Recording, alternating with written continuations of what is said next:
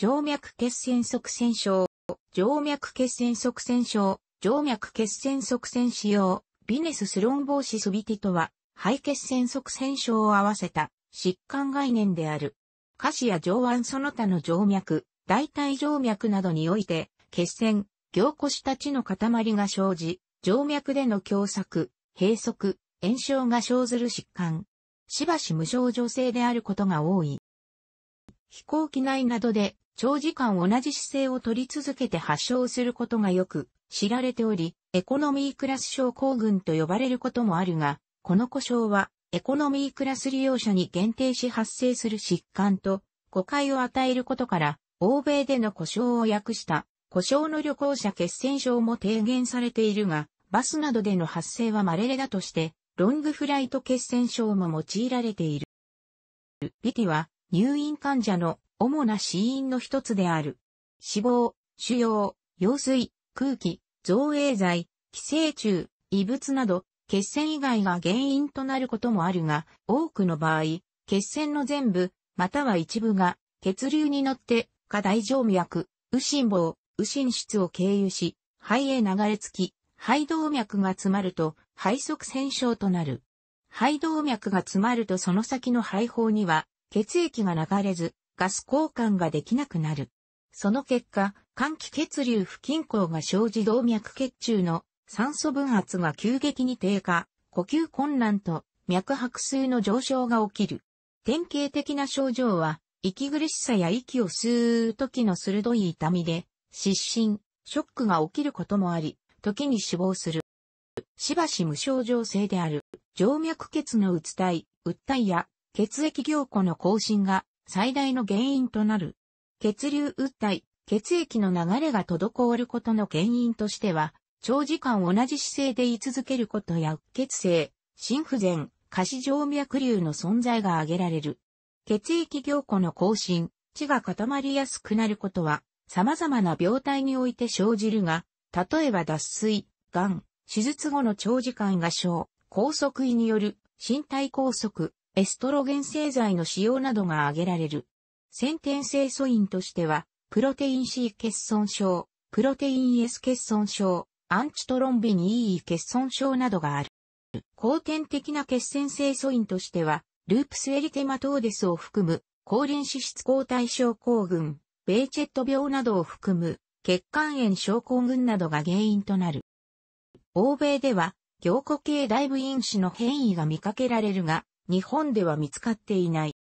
特に湿度が20%以下になって乾燥している飛行機、とりわけ座席の狭いエコノミークラスで発病する確率が高いと思われているため、エコノミークラス症候群と呼ばれるが、ファーストクラスやビジネスクラス、さらに列車やバスなどでも発生の可能性はある。タクシー運転手や長距離トラック運転手の発症も報告されている。長時間同じ体勢でいることが原因である。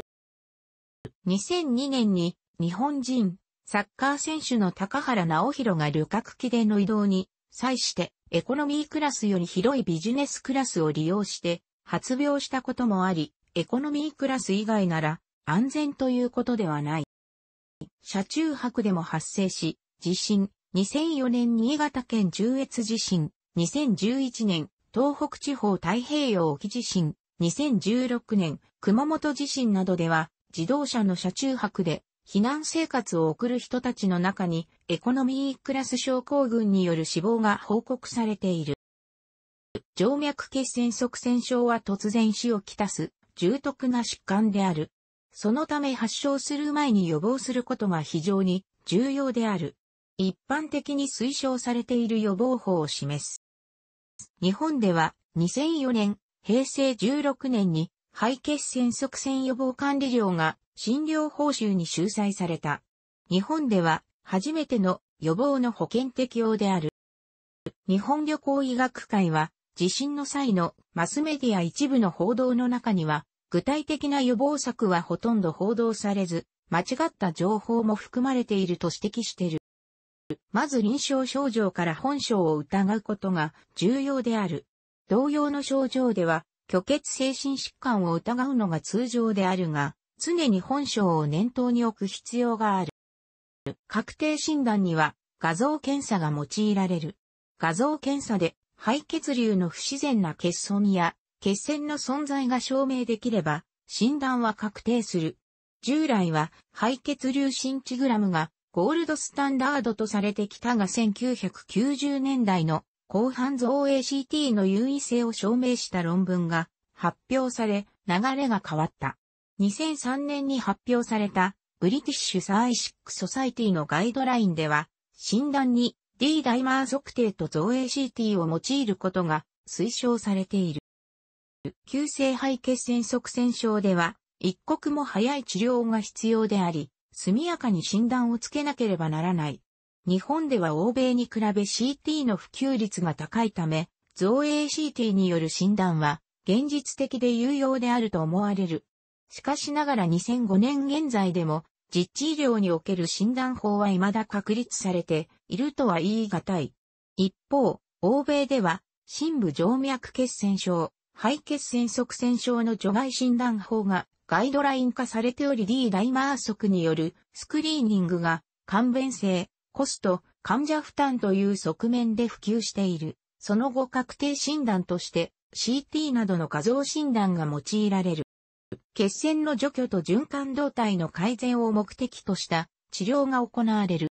薬物を用いて血液を固まりにくくする治療法。ヘパリン、注射、ワルファリン、内服などの工業古薬が用いられる。血栓の増大や再発を防ぎ、生命予後を改善する。近畿例、出血が命に関わる場合を除きほぼ前例に行われる。ヘパリンは可能であれば低分子量ヘパリンを用いるべきである。低分子量ヘパリンは長期投与にこらえ、主要患者にも投与が可能である。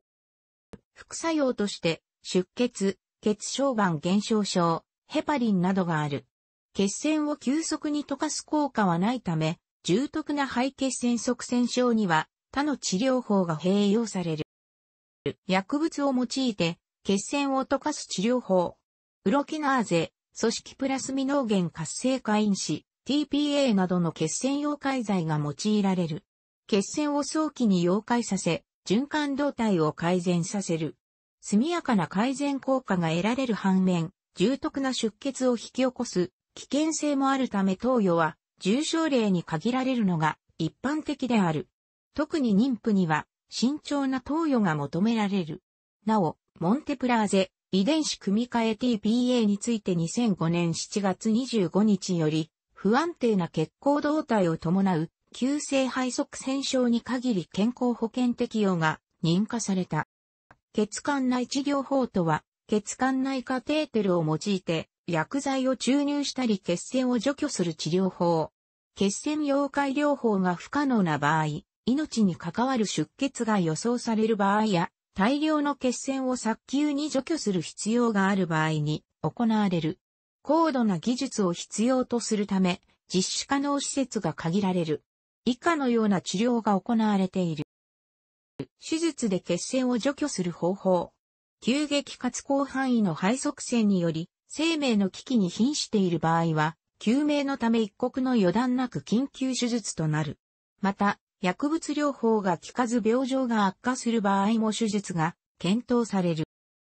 死亡率は10から30%と報告されている。死亡例の多くが発症直後の突然死である。治療が走行すれば生命予後は良好であるが、症状消失後も再発の恐れがあり、工業固療法を続ける必要がある。特に高臨脂質抗体症候群では修正に及ぶ。再発した場合はさらに死亡率が高く寝たきり、入院、高齢、閉塞性肺疾患、悪性疾患等がその危険因子となる。日本での年間症例数は約4000例、2000年と推計され、増加傾向である。英国では年間2万5000人の入院患者が予防可能であった静脈血栓塞栓症にて死亡している。